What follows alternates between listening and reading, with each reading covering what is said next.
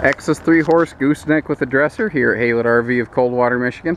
This is going to be short and sweet because it's a pretty short and sweet trailer. Just nothing fancy, just a three horse slant with a rear tack. Uh, looks to be about seven wide. Um, I'll check the height when I get inside. I have an easy way of figuring that out. I'm just tall enough that if my hand lays flat against the ceiling, it's seven tall. And if it's my fingertips touching, it's seven six. Um, up here, big dresser. Big honking dresser in this thing. It's got like a four foot short wall dresser. Um, you know, so you got lots of space down here and it looks like someone put down this little peel and stick sort of flooring. Did a nice job of it. Looks pretty good in here. But uh, this looks like it is about seven tall, by the way, just to fill that in for you. And it looks like they did go through and kind of do a quick finish and insulation job up here in the gooseneck dresser.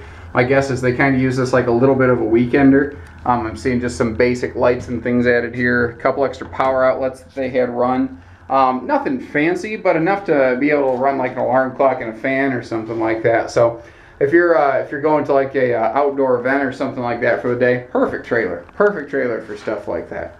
Um, the uh, rear tack, uh, they they took the little floor mount or they covered the floor mount rather for the rear tack, but that saddle tree could come uh, up here. My battery is dying on me, so I'm going to have to finish the rest of this pretty quickly, but we don't have a lot to cover.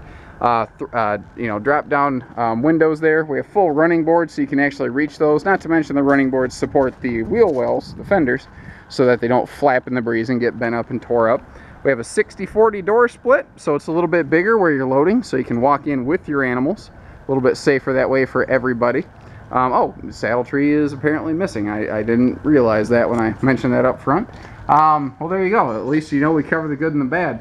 All in all, I mean, needs to be swept out, but you know, if you're willing to take a trailer home and sweep it out, you've got a nice little weekender gooseneck running around here to get you through, save you some money. 800 256 5196, Haylett RV of Coldwater, Michigan. Thank you, everybody. Take care, stay safe, happy trails.